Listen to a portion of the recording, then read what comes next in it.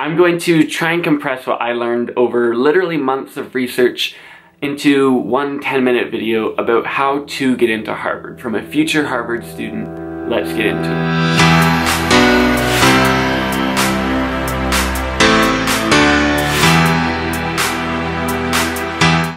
So I want to start things off by talking about academics because this is the number one question that people have whenever they hear about me getting into Harvard. Is always what did I score on my SATs? What did I score on my GPA? What do what do I need to get into Harvard?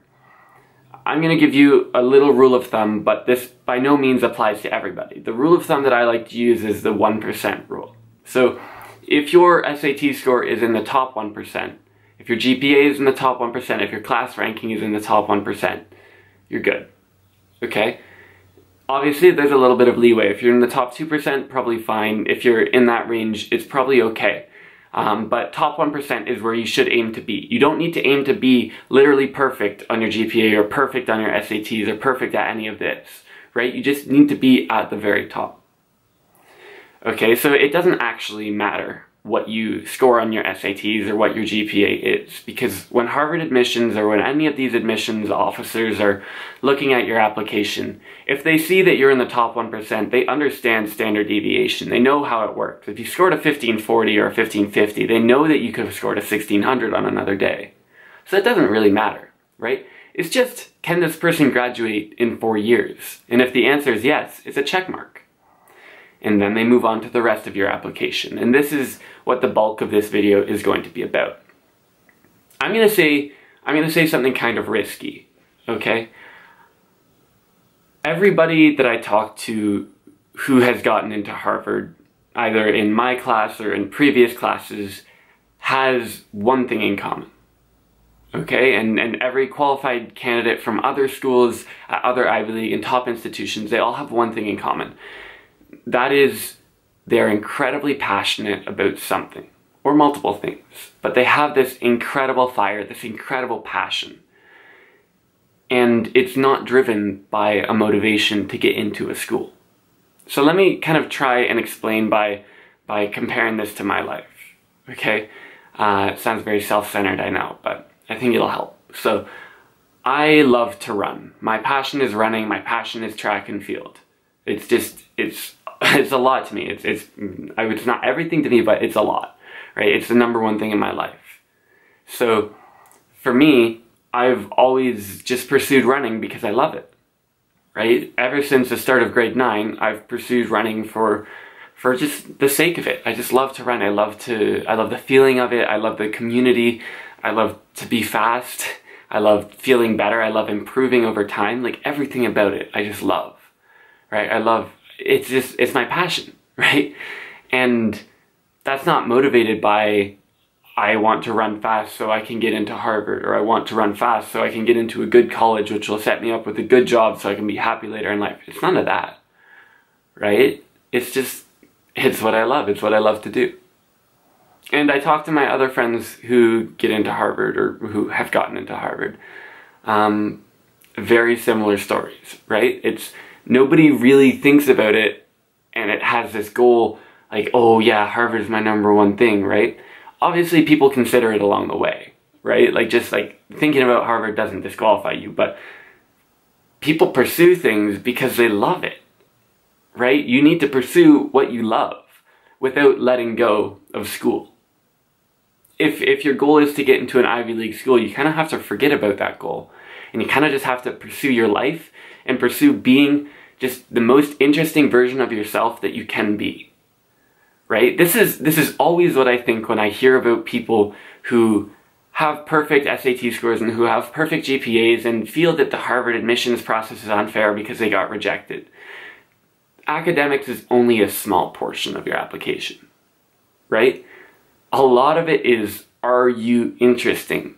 Do you have passions? Right? I think one of the one of the ways that this was phrased to me um, by someone who is involved in the admissions process is like the question that they're trying to answer is would you be an interesting roommate like if if I was forced to live with you for four years of my life would would I be cool with that would I be interested are you a nice person Uh, do you have things that drive you? Would you inspire me? And if the answer to that is yes, then they're going to want to let you into the school, right? They're going to want to let you into that community, right? And you're going to want to be part of that community because your roommate is going to be equally inspirational and equally passionate, right? So I think the number one thing by far is to have a passion and not only to have a passion, but to be excellent at that passion, right? Because it's one thing to go into an interview and say like, yeah, I'm like super passionate about baking cookies. Like I only started it like a month ago because I saw this video about a guy who said I need a passion for Harvard, but like I'm super passionate about it. It's like what I want to do. And then like they'll see right through that. Right? They'll see right through that. It needs to be something that you genuinely love. Like I genuinely love track. I have a friend who genuinely loves musical theater, which I can't even comprehend, but she does, and that's like her number one thing. That's that's what got her into Harvard, right? That's like she spends a week of her of her year every year in competition mode where it's just like you get four hours of sleep and it's like ah oh, this is crazy but I love it like it's crazy but you know and it's just like that's exactly the mentality that you need you need to be willing to put aside other things in your life your passion and pursue it not to get into Harvard because that's a crapshoot but because you love it and because you want to be interesting now, what I mean by, by Harvard being a crapshoot is that all of these top schools have, I mean, it's published online. Like, you can look at the admission statistics. What Harvard likes to say is, we could fill the class with valedictorians twice over. And I mean, that's true, right? There are going to be a lot of people who are qualified, who are interesting people, who have this academic standing, and they can't be accepted. They can't all be accepted. There are only so many spots and it's luck. A lot of it comes down to luck. Now, if you are the top candidate, you're going to be accepted. But if you're just one of the top candidates, then there's a chance that you won't be accepted. Right? So you have to understand that, that, that more than likely you're not going to be the singular top candidate. And even that person has a, has a chance of, of not being accepted. Right? The, their interviewer could just be having a bad day. Or they could be having a bad day. So ultimately, a lot of this comes down to luck.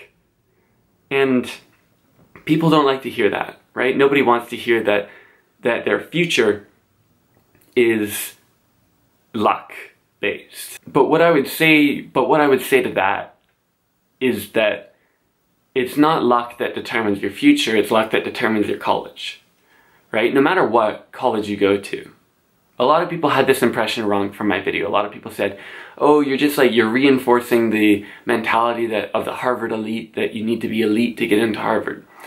I, no, like, a lot of my people that, that I look up to dropped out of university or dropped out of, of high school even.